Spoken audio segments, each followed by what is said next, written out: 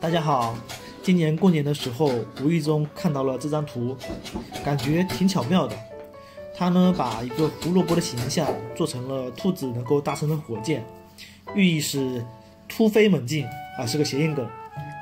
大概在去年的这个时候，我也是自己动手制作了一个木雕的冰墩墩，所以呢，当即决定用这张图片来做一个木雕的摆件。初六从老家出来，来到了打工的城市，找出了很久没有用的工具，木头还是去年剩的。哎，由此可以推导出，这一年来我就没怎么动过这个东西。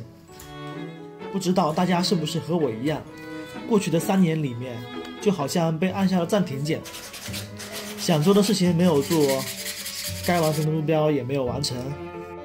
这样想来，突飞猛进，或许是对现在的我们来说，是最好的祝福了。虽然癸卯兔年已经开始了十多天。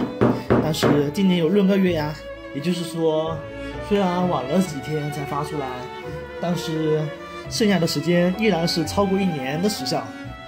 那么就祝大家和我自己，能在剩下的三百七十天的时间里面，一飞冲天，突飞猛进。兔年大吉啦！祝你兔年吉祥，兔年大吉，万事如意，喜气洋洋，一帆风顺，满天欢喜。平安健康，祝你好心情，祝你越来。